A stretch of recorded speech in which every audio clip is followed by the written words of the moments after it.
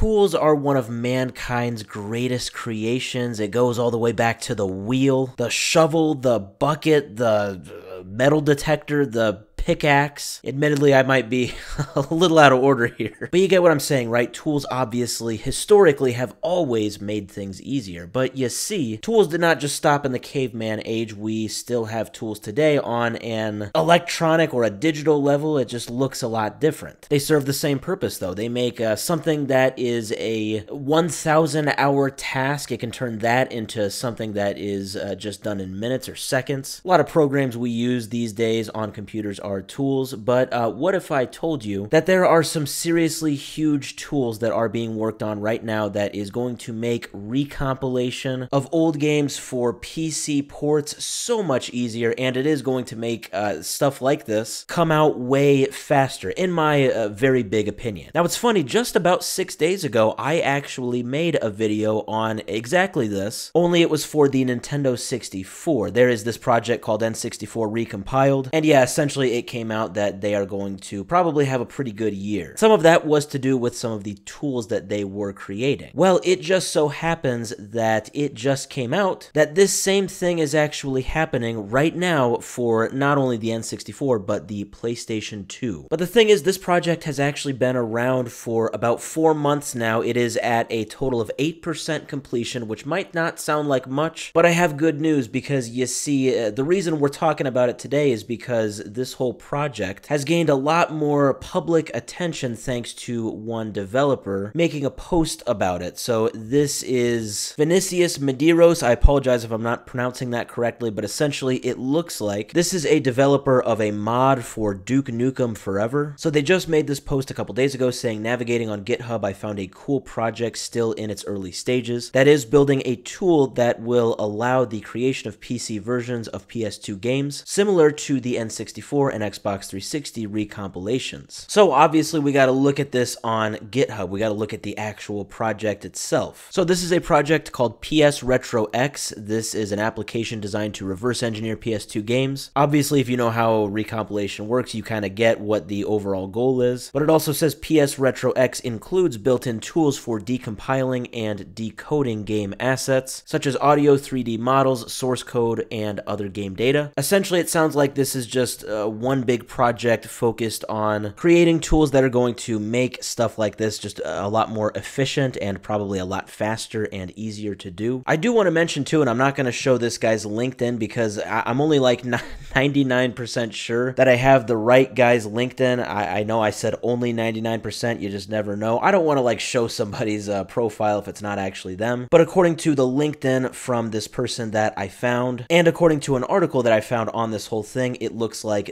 this is actually a university student from Argentina that is studying engineering. This is the person that is running this project, and it looks like has, uh, up to this point anyway, done kind of most of the work. And then it goes on to show kind of the progress they have made. And yes, as I said, overall, the 1.0 build is at 8%. So that's 8% in four months, which again does not sound like much, but I would expect it to go up a lot more rapidly now that it has gained attention. Other people might now jump on this project. And then, yes, he does go into details on the different features of this project, just a ton of uh, different tools for decompiling and recompiling games. Overall, this is huge for PS2 recompiling. I really think that we are probably, after this is all said and done, going to start seeing legitimate PC ports of these PS2 games, which is awesome because PS2 is uh, like one of the huge consoles that I grew up on. I love so many PS2 games, and there's just not a ton of like, you know, PS2 fan made uh, mods, like full mod games that we see, at least right now in 2025. But I think that when this project is finished, that could very much change very, very soon. I can't wait to see what kind of projects people come up with.